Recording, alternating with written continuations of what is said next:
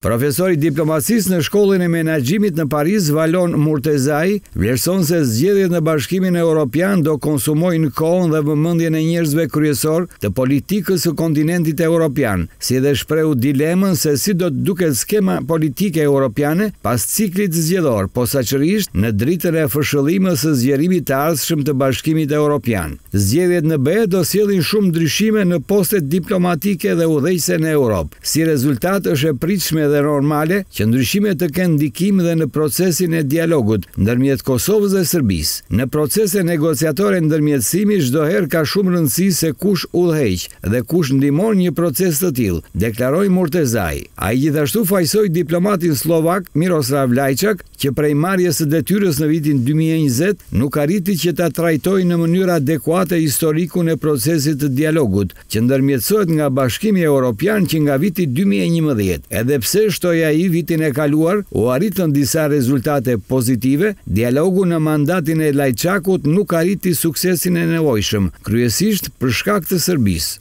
Serbia ka qenë aktor dhe faktor destruktiv në Ballkanin Perëndimor për një kohë të gjatë dhe kjo duhet të jetë pikënisja. Nëse kjo nuk adresohet ashtu siç duhet, atëherë kjo pastaj shkakton vështirësi në arritjen dhe zbatimin e marrëveshjeve, pra në suksesin e përgjithshëm të dialogut. Përkundër se është ende herët për të pasur vlerësime të qarta, duke qenë se përbërja e institucioneve do të dihet në vjeshtën e vonë, rikonfigurimi i raportit të forcave do të ndryshojë dinamikën kontinentale. e cila jo domosdoshmërisht shkon në favor të Kosovës, që shpejt do ta gjejë veten në rolin e spektatores së zhvillimeve politike brenda Bashkimit Europian.